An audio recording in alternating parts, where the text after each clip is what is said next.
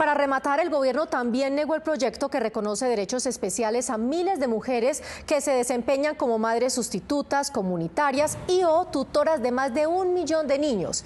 Brigitte Mendoza. Las principales afectadas frente a las objeciones de la presidencia a esta ley son cerca de 70 mil madres comunitarias, madres sustitutas y tutoras del país, que por ahora ven embolatados no solo sus derechos laborales, sino su seguridad alimentaria. Mejoramiento de la relación laboral, subsidio permanente a la vejez, derecho a la educación hacen parte de los beneficios que les fueron negados. Las objeciones de la presidencia estaban fundamentadas en la falta de recursos para desarrollar el objeto del proyecto, además de razones inconstitucionales. El Congreso sí tiene competencia para dos temas claves en la vida del país y es la niñez.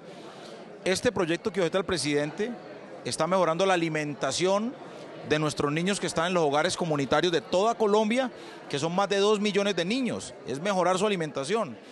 Y segundo, estamos mejorando las condiciones laborales de más de 70 mil mujeres madres comunitarias, sustitutas y FAMI. Yo siempre lo he dicho, el gobierno ha tenido recursos para muchas cosas.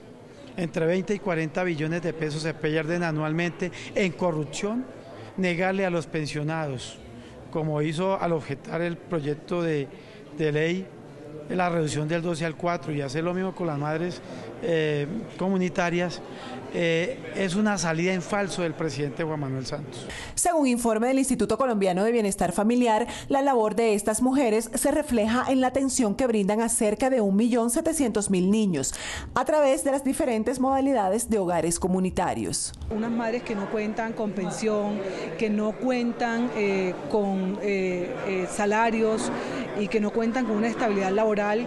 Este proyecto iba encaminado hacia allá, hacia todas estas mujeres que cuidan a miles y miles de niños colombianos. Tras la decisión tomada por la plenaria del Senado, será ahora la Corte Constitucional quien define el futuro de esta iniciativa. Brigitte, muchísimas gracias y cambiamos de tema.